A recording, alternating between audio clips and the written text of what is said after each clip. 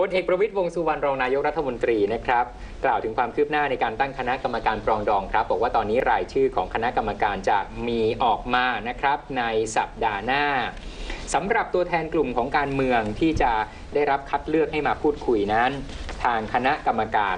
จะเป็นผู้เลือกเอง เพราะฉะนั้น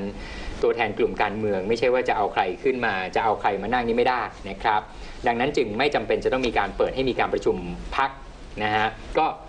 พูดง่ายๆว่ายังไม่มีการเปิดโอกาส หรือว่าการปลดล็อกให้พักการเมืองดำเนินการทางการเมืองได้ตอนเนี้ย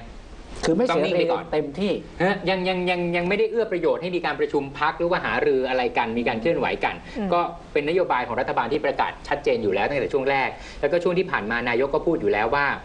จะต้องรอหลังจากเสร็จสิ้นพระราชพิธีสำคัญค่ะสองพระราชพิธีครับ ไปซะก่อนนะค่ะ ฮะถึงจะเริ่มปลดล็อกให้กับพักการเมือง เอาล่ะอันนี้ก็ชัดเจน ถึงแม้ว่าจะมีการตั้งคณะกรรมการปรองดอง แต่ว่าเดี๋ยวทหารจะเป็นคนเลือกเองนะครับ แล้วก็ไม่เปิดให้มีการประชุมพักการเมืองสำหรับการเริ่มพูดคุยกันนั้น จะเริ่มต้นพูดคุยนะฮะโดยจะเดินสายไปที่พักการเมืองก่อนนะครับ ท่านก็จะไปคุยเอง นะไม่ได้ปล่อยให้พักคุยกันค่ะท่านจะไปคุยเอง อืม ส่วนประเด็นที่ว่าคณะกรรมการจะมีทหารเข้าไปมีสัดส่วนอยู่เป็นจำนวนมากนั้นเนี่ยนะฮะท่านรองนายกพลเอกประวิทย์นะฮะท่านก็ยืนยันว่าทหารเนี่ยมีความเป็นกลางนะ ค่ะ ไม่ได้ขัดแย้งกับใครเป็นผู้ใหญ่รู้นะนะฮะทราบว่าควรจะทำอะไรครับ ครับเลยครับก็น่าก็มีเข้าคณะกรรมการอยู่แล้ว ไม่ต้องประชุมครับ ไม่ต้องประชุมหรอกเรื่องพวกนี้ นะครับคนไหนเขาก็เอาเข้ามาไม่ไม่ต้องประชุมประชุมอะไรไม่ไม่ยุ่งเปล่าๆนะครับ ไม่ต้องครับมั่นใจว่าคนแกนนำที่มาแกนนำพรรคการเมืองจะมาคุยจะเป็นคนตัดสินใจได้ไหมคะที่ว่าอย่างนั้นไหมผมไม่เห็นต้องการการการตัดสินใจอะไรเลยเท่าไหร่นะครับอยากว่าผมอยากให้คนที่มาเนี่ยมาแสดงความคิดเห็นมากกว่า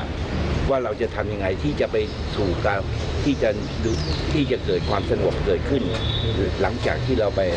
มีการรัฐบาลต่อไปนะครับนะครับไม่ให้มีการเอ่ออย่างที่แล้วมามีการมาออกมาตีกันอย่างนี้บอกว่าไม่ให้เหมือนที่แล้วมาเดี๋ยวจะออกมาตีกันท่านกลัวมากเดี๋ยวจะค่ะออกมาตีกัน ว่าอย่างงู้นว่าอย่างนี้อืมอีกเนี่ยนะฮะท่านก็เลยบอกว่าจะต้องมีกรอบในการพูดคุยนะครับ ท่านบอกมีกรอบในการพูดคุย 10 เรื่องนะ ได้วางไว้แล้วแหละเรียบร้อยนะฮะเอ๊ะทุกอย่างเซ็ตมาหมดแล้วนะคุณ จะไปคุยกับพักการเมืองท่านก็มีกรอบอยู่แล้วเออนะอ้าวก็ดีไงมีความชัดเจนมีการวางแผนถูกต้องมีการไม่ใช่ว่าเอายังไงก็ได้เต็มพรรคการเมืองเสนอมาเต็มการยังไงจะเอาอย่างนั้นก็ได้ค่ะไม่ใช่เออแต่ท่านมีกรอบของท่านค่ะมีแนวทางชัดเจนอยู่แล้วนะครับ ส่วนกรอบความคืบหน้านะครับที่จะมีการพูดคุยนั้นก็จะแจ้งให้ทราบในภายหลังท่านอุบไว้ก่อนท่านยังไม่บอกนะครับ โดยท่านบอกว่านู่นแหละก็คงจะต้องใช้เวลาพูดคุยกัน 3 เดือนนะฮะเดือนนี้มกราก็กุมภามีนาเมษาอืมนู่นล่ะนะหลังสงกรานต์นู่นละค่ะมั้งนะฮะซึ่งท่านบอกว่ากระบวนการยังไม่เสร็จสิ้นนะครับ โดยจะมีการเผยแพร่ผลการพูดคุยกันต่อไป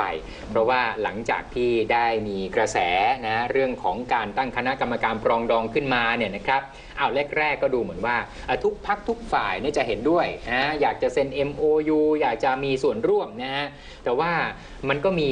อยู่หลายภาคส่วนเหมือนกันนะการเมืองบางคนก็บอกว่าไม่เอาด้วยนะอย่างคุณสุเทพนี่ก็ชัดเจนนะค่ะบอกว่าไม่ร่วมเซ็น MOU แน่นอนอ่า นะแล้วก็อีกหลายท่านนะบางคนก็นอกจากบอกว่าจะเซ็น MOU แล้วก็ยังเรียกร้องมา แต่ว่าขออย่างนั้นขออย่างนี้นะก็ขอให้ปฏิบัติเป็นมาตรฐานเดียวก็แล้วกันก็ยังแอบด่ากลับไป อืมว่ารัฐบาลรัฐบาลเน้น double standard อ๋อ ใช้กฎหมายไม่เท่าเทียมไม่เป็นประชาธิปไตยก็ยังด่ากลับไปก็คงรู้ว่าคนกลุ่มไหนอืมนะแล้วก็ยังมีฟีดแบ็กกลับไปอีกว่าถ้าจะให้เซ็น MOU แล้ว ทหารก็ต้องเซ็น อ่า ทหารก็ต้องเซ็นว่าจะไม่ปฏิวัติ อย่างนี้ท่านก็เลยออกตัวตั้งแต่ตอนแรกแล้วนะ ว่าทหารนี่ไม่ใช่คู่ขัดแย้ง คือเป็นกลาง ทหารเป็นกลางค่ะไม่ใช่คู่ขัดแย้งกับกลุ่มการเมืองไหนเลย อืม เพราะฉะนั้นเนี่ยจะไม่ได้มีการเซ็น MOU แน่นอน แล้วทีนี้ท่านวางบทบาทหรือว่า positioning ของท่านชัดมาก ค่ะ ว่าท่านจะเป็นผู้นำ อะเป็นผู้เดินหน้าเป็นผู้จัดการในการปรองดอง อืมไม่ใช่ว่าเป็นส่วนหนึ่งที่จะไปปรองดองด้วย ค่ะ เห็นไหมว่าท่านไม่ได้เปิดโอกาสให้พรรคการเมืองประชุมกัน อืม แล้วก็เลือกใครมาก็ได้อืมท่านเลือกเอง เป็นคนกำหนด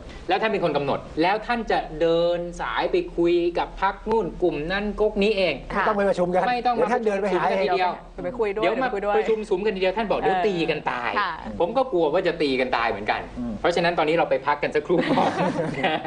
อ่าเรื่องของคำปรองดองเนี่ยเออต้องใจเเย็นครับๆ ท่านมีแผนของมันท่านอยู่แล้ว ขัดแย้งกันมานาถูกต้องนเราต้องมันนานค่อยๆคุยกัน ใช่ ลองดูว่าแนวทางนี้จะสำเร็จหรือเปล่าค่ะนะก็ขอเอาใจช่วยท่านลึกๆก็แล้วกันนะเพราะว่าเอ่อฝากฝั่งการเมืองก็ค่อนข้างจะแรงกันแรอยู่งอยู่ค่ะ